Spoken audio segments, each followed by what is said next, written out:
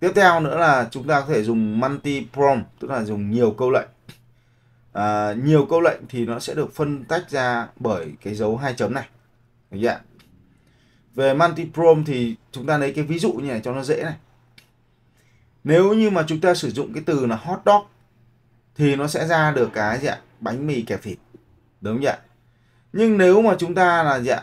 À, chọn hot xong đầu hai chấm hai chấm dog thì nó sẽ dạ, nó sẽ hiểu là gì ạ? Là con chó đang đang rất nóng. Đấy. nếu như mà gì ạ? Hai cái câu lệnh mà được ngăn cách ra bởi từ hai chấm thì nó sẽ hiểu rằng đây là hai cái thực thể khác nhau hai cái từ khóa khác nhau và nó không nó không mix với nhau. Là con chó đang nóng chứ không phải là bánh mì kẹp thịt. Được chưa đấy. Ví dụ ở đây cũng thế. Đây là cái dạ, cấp cách insulation tức là hình minh họa cái bánh cấp cách cái bánh cấp cách là cái bánh gọi là bánh cốc ấy. Đấy, anh chị em thấy đúng cái bánh cấp cách không ạ? Đúng không ạ? Tuy nhiên khi mà mình dùng cái hai chấm hai chấm ở đây thì nó tách ra. Đây cái cấp tức là cái cốc riêng. Còn cái cách isolation tức là hình minh họa cái bánh riêng.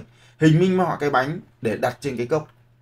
Đấy, đây là gì ạ? Hình minh họa cái bánh đặt trên cái cốc. Đây là nhìn anh chị em nhìn thấy cái cốc không ạ?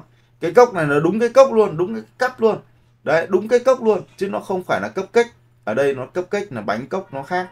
Còn đây là đúng cái cốc luôn. Và cái bánh đặt trên cái cốc, hình minh họa cái bánh đặt trên cái cốc. Được chưa còn cái thứ ba nữa là mình tách nó ra. Cái cốc riêng, cái bánh riêng và cái hình minh họa riêng. Thì nó sẽ ra một cái hình là gì ạ? Là cái bánh đặt trên cái cốc và nó sẽ có những cái hình minh họa ở bên ngoài. Đây. Đây là cái bánh đặt trên cái cốc và nó sẽ thêm những cái hình minh họa nữa. À, ví dụ như là hoa bướm rồi ờ, nó nó trở lên nó độc đáo nó phá cách hơn đúng không ạ? Nó phá cách hơn thằng này.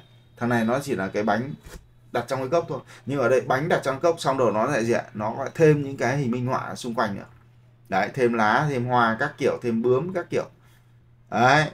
Ngoài ra thì nó lại gì ạ? Nó lại cũng có cái prom way tức là gì ạ? Là trọng số câu lệnh ở bên kia thì chúng ta có image way, tức là trọng số hình ảnh. Thì bên này có prompt way, là trọng số câu lệnh. Thì đây ví dụ như này cho anh chị em dễ này. Vẫn là hot dog, thì nó là con chó gì ạ. Con chó đang nóng, đúng không ạ? Nhưng mà hot hai dog, tức là gì ạ?